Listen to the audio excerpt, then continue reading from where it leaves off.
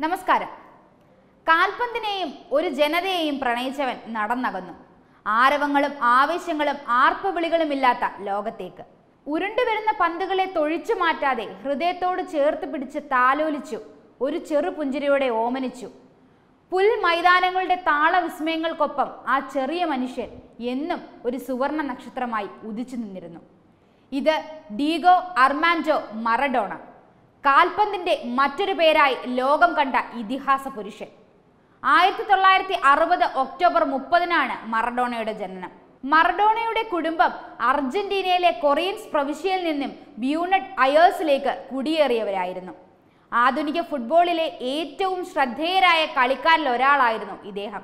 ഇരുപതാം നൂറ്റാണ്ടിലെ മികച്ച ഫുട്ബോൾ കളിക്കാരൻ എന്ന ഫിഫയുടെ ബഹുമതി പെലേക്കൊപ്പം മറഡോണയും പങ്കുവച്ചിരുന്നു. തന്റെ പ്രൊഫഷണൽ ക്ലബ് ഫുട്ബോൾ ജീവിതത്തിൽ Argentinos Juniors Boca Juniors Barcelona Newell's old boys എന്ന പ്രമുഖ ക്ലബ്ബുകൾക്ക് വേണ്ടി കളിച്ചിട്ടുള്ള കൈമാറ്റ തുകയിൽ ചരിത്രം സൃഷ്ടിച്ചിരുന്നു. അന്താരാഷ്ട്ര ഫുട്ബോളിൽ അർജന്റീനയ്ക്ക് വേണ്ടി തൊണ്ണൂറ്റിയൊന്ന് കളികൾ കളിച്ച മറഡോണ മുപ്പത്തിനാല് ഗോളുകൾ നേടിയിട്ടുണ്ട്. ആയിരത്തി തൊള്ളായിരത്തി എൺപത്തിരണ്ട് മുതൽ ആയിരത്തി തൊള്ളായിരത്തി തൊണ്ണൂറ്റി നാല് വരെയുള്ള നാല് ലോകകപ്പുകളിൽ അർജന്റീനയ്ക്ക് വേണ്ടി മറഡോണ കളിച്ചിട്ടുണ്ട്. അതിൽ ആയിരത്തി തൊള്ളായിരത്തി എൺപത്തി ആറിലെ ലോകകപ്പാണ് ഏറ്റവും അവിസ്മയകരണീയമാക്കിയത്. മറഡോണയുടെ നായകത്വത്തിൽ കളിച്ച അർജന്റീന ടീം ഫൈനലിൽ പശ്ചിമ ജർമ്മനിയെ പരാജയപ്പെടുത്തി ഈ ലോകകപ്പ് നേടുകയും മികച്ച കളിക്കാരനുള്ള ഗോൾഡൻ ബോൾ മറഡോണ സ്വന്തമാക്കുകയും ചെയ്തു. ഈ ടൂർണമെന്റിലെ ക്വാർട്ടർ ഫൈനലിൽ ഇംഗ്ലണ്ടിനെതിരെയുള്ള കളിയിൽ മറഡോണ നേടിയ രണ്ട് ഗോളുകൾ ചരിത്രത്തിൽ ഇടം പിടിച്ചു. റഫറിയുടെ ശ്രദ്ധയിൽപ്പെടാതെ കൈകൊണ്ട് തട്ടിയിട്ട് നേടിയ ആദ്യത്തെ ഗോൾ ദൈവത്തിന്റെ കൈ എന്ന പേരിലും ആറ് ഇംഗ്ലണ്ട് കളിക്കാരെ വെട്ടിച്ച് അറുപത് മീറ്റർ ഓടി നേടിയ രണ്ടാം ഗോൾ നൂറ്റാണ്ടിന്റെ ഗോളായും വിശേഷിപ്പിക്കപ്പെടുന്നു. കളിയിൽ ഒന്നിനെതിരെ രണ്ട് ഗോളുകൾക്ക് അർജന്റീന ഇംഗ്ലണ്ടിനെ തോൽപ്പിച്ചു. പത്താം വയസ്സിൽ തദ്ദേശീയ ക്ലബായ എസ്ട്രല്ലോ റോജയ്ക്ക് വേണ്ടി കളിക്കുമ്പോൾ തന്നെ തന്റെ പ്രകടനങ്ങൾ കൊണ്ട് മറഡോണ ശ്രദ്ധേയനായി.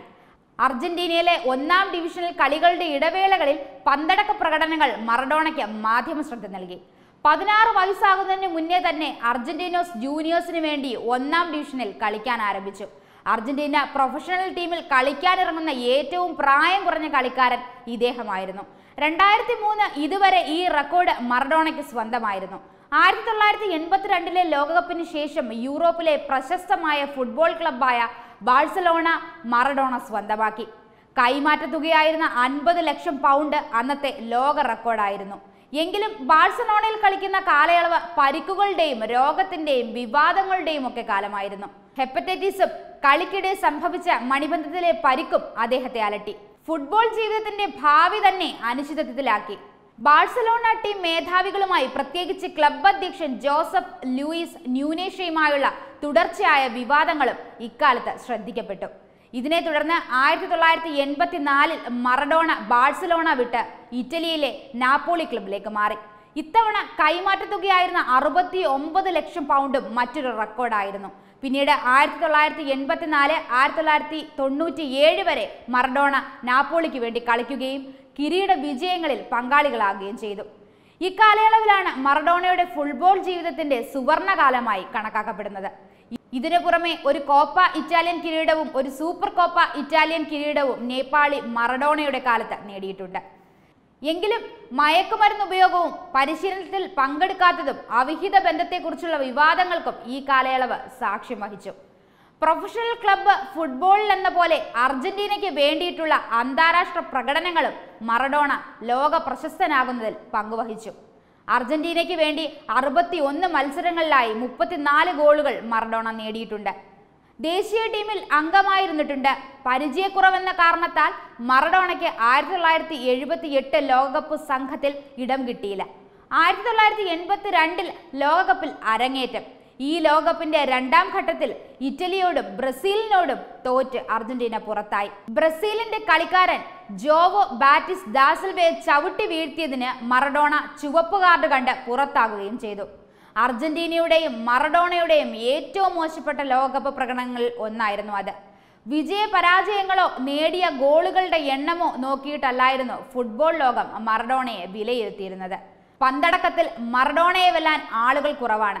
എതിരാളികൾ എത്ര പേരുണ്ടെങ്കിലും അവരുടെ ഇടയിലൂടെ നുഴഞ്ഞു കയറാനും കൂട്ടുകാർക്ക് വിദഗ്ധമായി പന്ത് കൈമാറാനും ആ കൈമാറ്റം അതിസൂക്ഷ്മവും കൃത്യവുമാക്കാനും മറഡോണയ്ക്ക് എന്നും കഴിഞ്ഞിരുന്നു.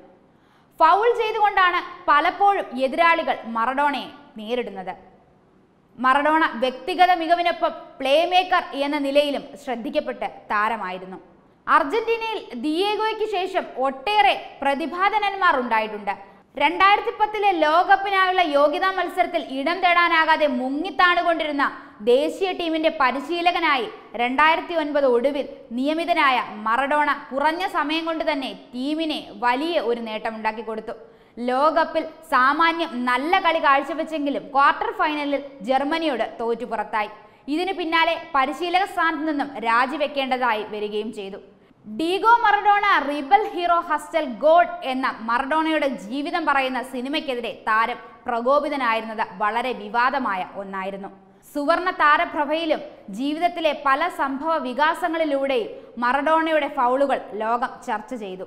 എന്നാലും മറഡോണ എന്ന ഒറ്റ നാമത്തിനു മുന്നിൽ അയാളെ പിടിച്ചു നിർത്തി ലോകം കരഘോഷം മുഴക്കി ഉറക്കെ പൊട്ടിച്ചിരിച്ചു അയാളിലേക്ക് ഓടിയണഞ്ഞു. ഇനി ഈ വിസ്മയമില്ല. ദൈവത്തിന്റെ സ്വന്തം ഗ്രൗണ്ടിൽ എപ്പോഴെങ്കിലുമോ ഡീഗോ ഡീഗോ എന്ന വിളിയും കൂട്ടവും കേൾക്കുമായിരിക്കും. ചക്രവാഹങ്ങൾക്കപ്പുറം ചരിഞ്ഞു കിടക്കുന്ന ഗോൾ വലയങ്ങളിൽ സൂര്യ തേജസ്സാകുന്ന ആ ഗോളം ഗോളായി പതിക്കുമായിരിക്കും. വെബ് ഡെസ്ക് തത്തുമൈ ന്യൂസ്.